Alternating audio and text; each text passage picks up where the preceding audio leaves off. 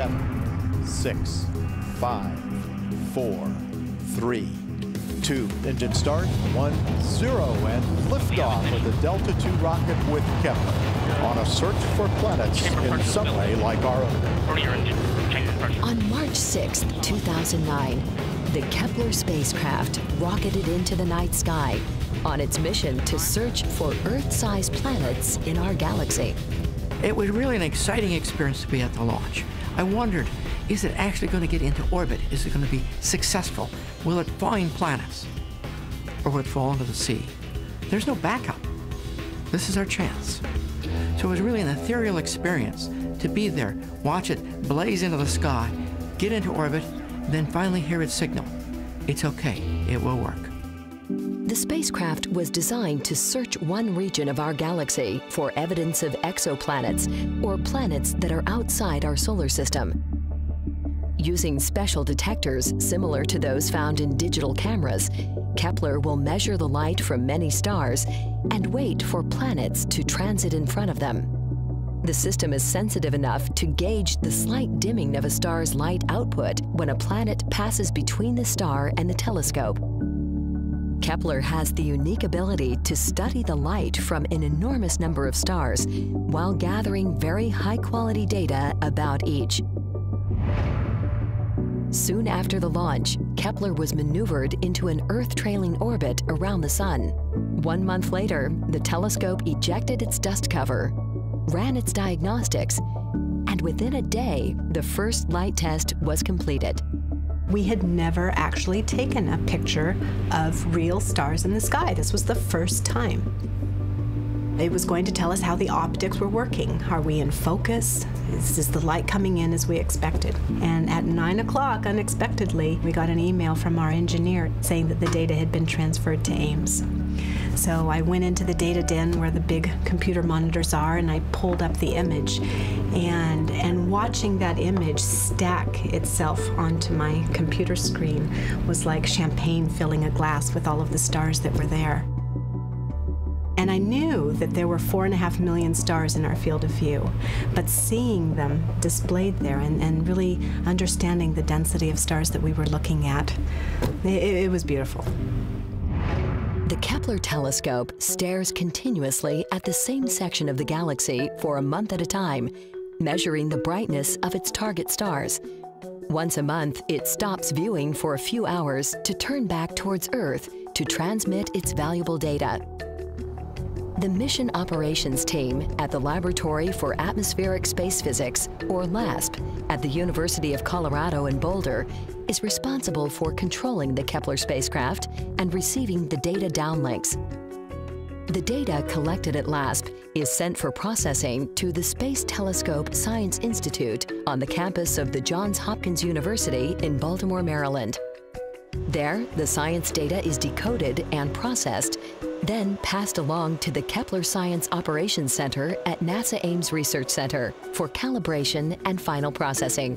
The Kepler data is 100 times better than the ground-based data that, that people have seen before. We had to spend a lot of time figuring out how to make the instrument work properly, and we're still spending a lot of time, even now, figuring out how to interpret the data and pull out stuff that's 100 times better than anybody else has done.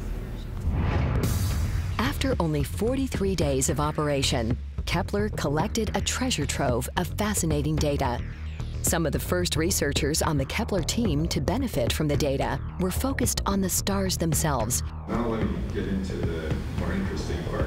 Their research, called asteroseismology, is the effort to understand the structure of stars by studying the unique pulses or quakes that each star generates internally. What we study is the periods of vibrations in stars. The basic properties that we measure are the size of the star, and the age of the star. So if you don't know the size of the star, you actually also don't know the size of the planet. So what we are simply doing is that we use the vibrations to measure the size of stars, and therefore we also know the size of the planets. Kepler will from now on be the, the mission that you go to when you want the real data. It is a revolution. An early challenge for the Kepler science team was to validate the quality of their first 43 days of data. They chose to observe a previously discovered exoplanet to prove that their methods would work. HAT-P-7b is one of three known transiting planets that were discovered in Kepler's field of view before we launched, so of course we put them on our target list. And the first day that we looked at data from Kepler during commissioning, we looked at this star's light curve. The big surprise was that we were able to see the planet going behind the star. So as the planet goes in its orbit towards the backside, it gets brighter because you're seeing more of its sun-warmed face. But then it winks out for about two hours as it goes flying behind the star. And the amazing thing is that this drop in brightness of this secondary occultation is only 100 parts per million. But 100 parts per million is a magic number because that's the size of the drop in brightness that you expect for an Earth-sized planet transiting or crossing the face of a sun-sized star. Several ground observatories around the globe are partnering with the Kepler mission to provide independent confirmations about planetary transits of stars. Kepler detects changes in brightness of many stars that appear to have the signature of a planetary transit. Often these are later found to be something else, such as a smaller star eclipsing a larger one. The ground observatories help to confirm actual planets from these false positive readings. The Keck telescope in Hawaii is crucial for Kepler. It does two things. It verifies the existence of the planets by looking for the wobble of the host star, yanked gravitationally by the planet, and it allows us to measure the mass of the planet, the bulk mass, by how much the star wobbles. Verifying planets, getting their masses, and hence their densities, is a, a key part of the Kepler project. This validation is critical to the process of identifying new planets, such as the Kepler team's first discovery of five exoplanets announced at the end of 2009. The discovery of these five planets, four were Jovian-like, that is big gas giants with densities that were surprising, all the way from water, that to styrofoam, a real surprise. But one of them was a planet very much like Neptune, probably rocky inside with an atmosphere. And so this was a very interesting planet, and a planet very close to its star, yet it didn't bloat like the Jupiter-like planets. So again, a lot of information about the structure of these extrasolar planets that will help us understand those planets and our own. By June of 2010, the Kepler team had identified between 300 to 700 planet candidates. They released a data set containing about 300 of these possible planets to their research partners around the world to help accelerate their search. Kepler is revolutionizing the field of exoplanet science. For the first time, a large number of planet candidates can be studied using extremely high quality data. We're talking about hundreds and hundreds of planets using the best data we have ever seen here on Earth. This will lead to the discovery of many, many new exoplanets and a better understanding of the types of star systems and planets out there. What I find most fascinating is that Kepler is making discoveries of phenomena that we have never before witnessed.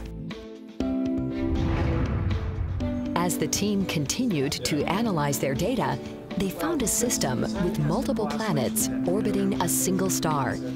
This important discovery was announced in August of 2010.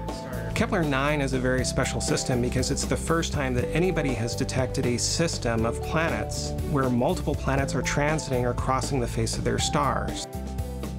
Moreover, we found a third planet, much smaller in a much tighter orbit, 1.6 days. It's 1.6 Earth radii, making it a super Earth. So we find two Saturn-sized planets and one super Earth-sized planet. It represents Kepler's first super Earth-sized planet, as well as the first discovery of multiple transiting planets in one system.